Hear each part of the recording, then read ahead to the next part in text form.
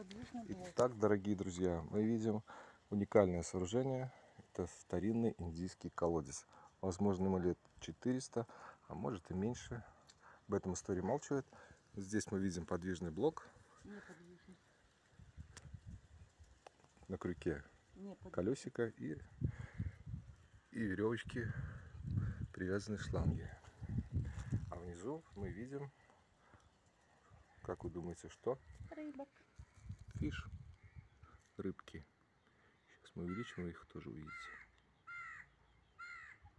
То есть, когда вы набираете из крана воду, не исключено, что к вам при- попадет рыбка.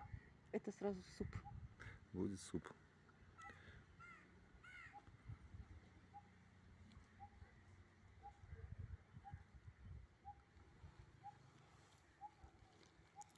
Живут все рыбки и все.